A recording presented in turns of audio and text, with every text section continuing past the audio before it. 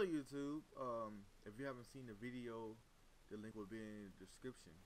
But I met DEG, I met McQueen and all of them, and um, kind of chilled with them a little bit. But either than that, and party with them as well. But either than that, if you want to see that, link will be in the description. And I'm about to edit my videos. Uh, y'all give me tips. Should I do like five videos a day? But I'm gonna, I'm gonna upload at least four if I can make it. Cause it's easy to make a reaction video. I, mean, I ain't know. Just make a reaction video. I guarantee you, your your channel will grow in like three months. If you to watch the full video, the video will be in the description. So I'm gonna be cutting some of this out, just for copyright reasons. Like right now, like you know, it might be a little fast forward into it, but I'm gonna give you my intake on what I think about the song. You know what I'm saying? Drink me a little beer. Drink me a little beer. Yeah. Uh, there it is right there. Yeah, let's get it.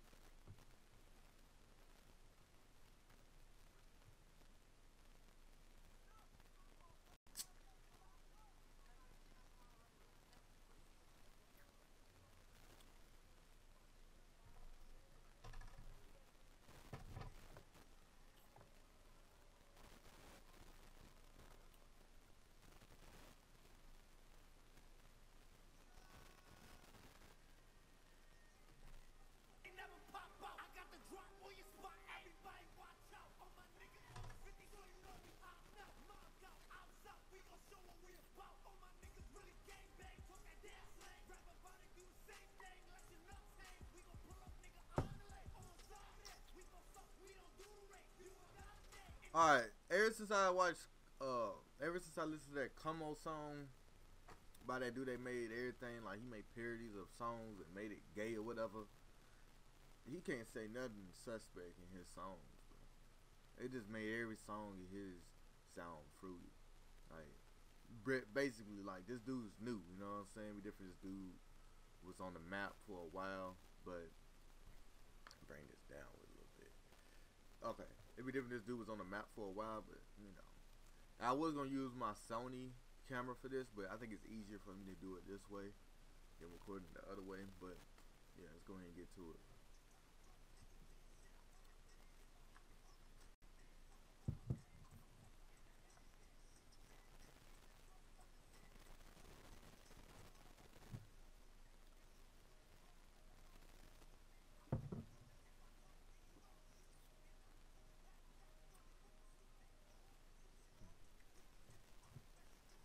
Okay. Hey.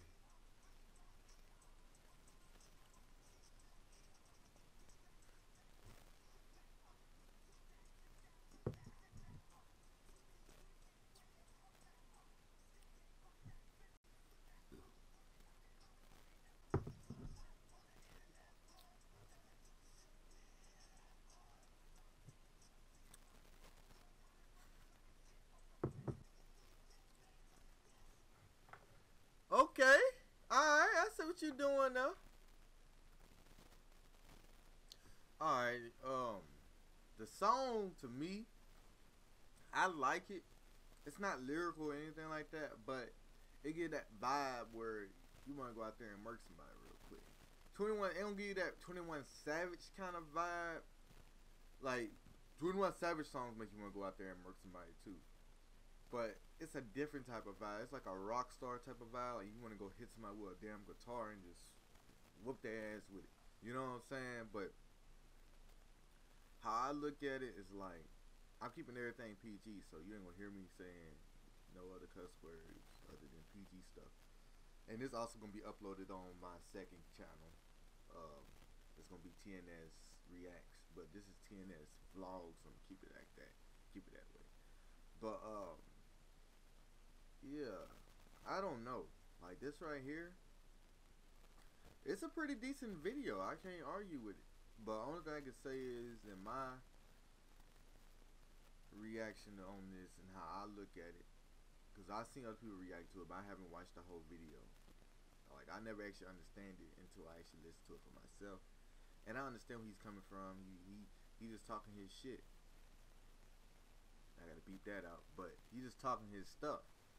So the only thing I can tell you, kids out there and all that, that's, that's like getting influenced by these type of music, is this. It's like to me, it's a little childish that we we uh glorify those things, but it depends on how y'all glorifying it. Like y'all better y'all better like make more sense when y'all sit there and put these tapes out there and making people think of y'all less because y'all want to do your own thing, like go out there sell dope and all that, you know, trap out the bando type stuff. Like we gotta understand where y'all coming from. Like the music sound catchy, but what message are y'all bringing forward? Like that's what people want to know about hip hop nowadays. What message are y'all bringing to the kids when they get older? Are they gonna do the same thing you do?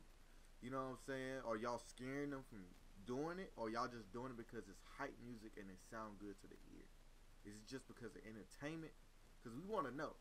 Because y'all really about the stuff, or y'all not? Because if y'all about the stuff, well, y'all, what kind of message are y'all trying to bring? Like, is it is it a good message?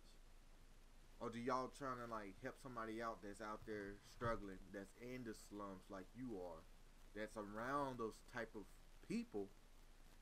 Or y'all trying to like bring the message to them saying it's okay to do those things, or y'all trying to tell them don't do it, but do what I do. Like, I mean, that's how I look at it, but a lot of people don't look at it like that, you know.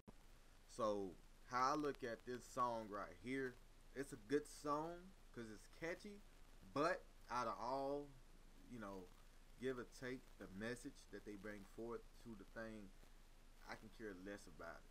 You know what I mean? Like it's just entertainment at the end of the day. But I I'm taking it from different standpoints and what I hear in the lyrics if it's not like J. Cole, Kendrick Lamar, how they rap about certain things.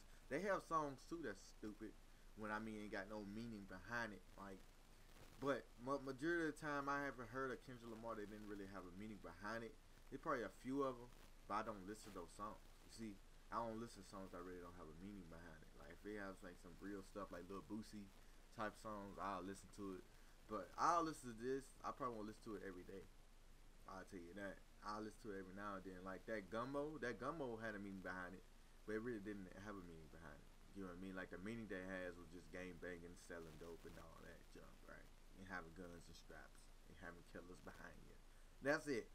That's what that gumbo was about. But guess what? The song was so catchy. This right here just gave you that same feeling. It just keep you jumping. Like his songs keep you jumping. All his songs keep you jumping. So if you want to um check out Six Nine songs, the link will be in the description. If you want to watch more about Six Nine, uh, search it up in the search bar. Thank you for watching. Hit that like button. Subscribe if you're new, and uh, comment in the comment section if you came here and you're new to my channel and you discovered this channel. Thank you. Six Nine. I'm gonna go ahead and toot off to you. My rating to this one out of ten. I give it a uh, a solid seven for the hypeness. For lyrics, I had to give it a five just because, you know, these are just three categories I just came up with myself. Some people might not go off of that. For lyrics, I give it a five just because the meaning behind it. We're trying to get away from that. We over there talking about it and you know bragging about it like you know other people might not look at it like that, but me, I look at it like that from my standpoint. Um, shoot, god dang it. Alright. What else? Third category, uh, the video, I give it a seven too. Just because the whoever editing your videos is always fine. They always got good sceneries and stuff. It's just like a movie. So it's entertainment. Like a movie. Some movies have gang gang bangers and gang related stuff, selling dope and all that, people getting shot and all that. So them making songs like that shouldn't make no difference. Shouldn't be a big difference between making a song like a movie. But a lot of people, when they listen to people's songs, they thinking that's what they about. But when I see people in movies, do I always think them as about? I'm gonna talk about that in another video. Hit that like button, subscribe.